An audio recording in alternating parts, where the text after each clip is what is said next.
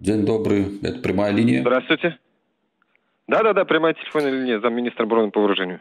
Э, Симоненко Сергей Дмитриевич, правильно? Нет-нет, вы звоните лицу, которое осуществляет регистрацию граждан, обратившись на прямую телефонную линию Министерства обороны. Регистрируйте. Андрей Паук. Да. Сейчас, секунду, подождите. Теперь подскажите, пожалуйста, вот названный адрес – это ваше место жительства Да. или место регистрации? Прописка там. Нет, это место регистрации. Ну, жительство. Оно да. совпадает с фактическим вашим местом жительства? Совпадает. сейчас Совпадает. Да, вы поясните, по какому вопросу вы хотите обратиться к министру обороны по вооружению? А, по поводу танков в Гродно. Каких танков в Гродно? Ну, ездили там танки в Гродно ночью. Танки в Гродно ночью ездили? Да? А вы не знали? Нет. Вот, вот я хотел спросить, почему Министерство обороны не знает, как военная техника двигается в Беларуси, в том числе.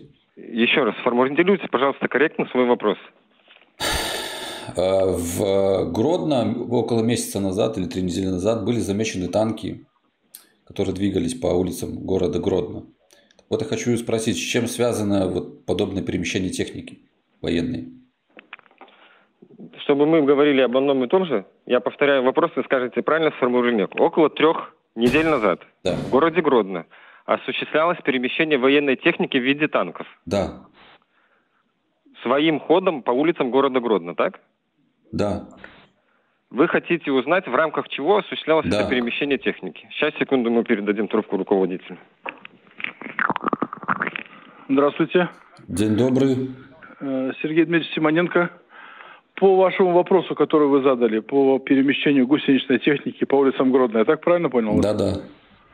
Данное мероприятие осуществлялось в рамке плановой проверки боевой готовности вооруженных сил, осуществляемых по плану. По плану? Какому?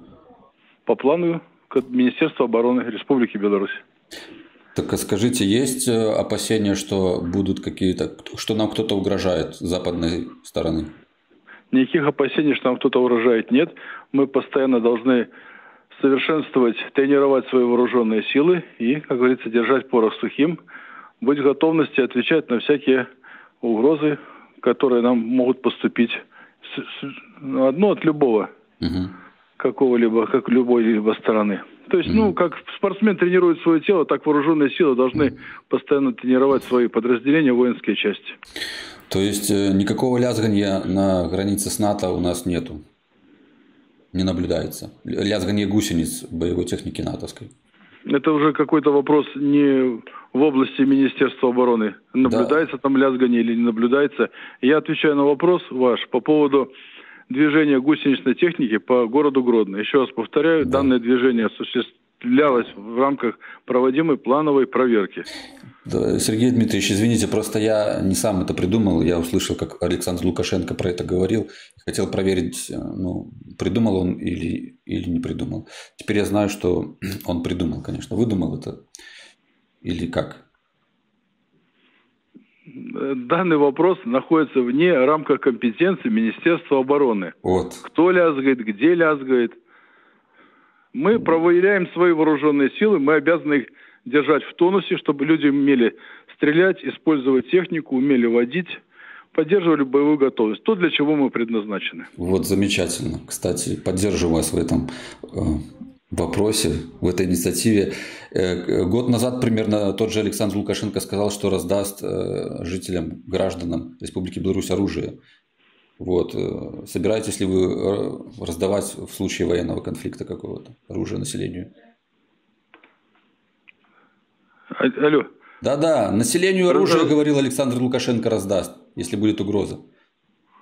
Ну, данный вопрос находится вне рамках моей компетенции, поэтому как бы если э, вы конкретно укажете, э, как бы конкретизируете свой вопрос, кому конкретно? Есть э, военнообязанные, которые, которые приходят э, в рамках повышения мощи вооруженных сил, которые мы обязаны вооружить. Это плановое мероприятие. Мгм, А всему населению страны как бы нет смысла старику ребенку выдавать какое-то оружие. М, Но Значит, мы способны обеспечить наше население в случае необходимости необходимым оружием. Значит, и тут э, Александр Лукашенко что-то придумал. Я не собираюсь комментировать действия главы государства. Это мысли слух у меня, извините, пожалуйста. Э, извините. А, а, на... Скажите последний вопрос, вот и все. Э, в конфликте Россия-Украина какую позицию занимает Министерство обороны Республики Беларусь? За кого оно? За Россию или за Украину?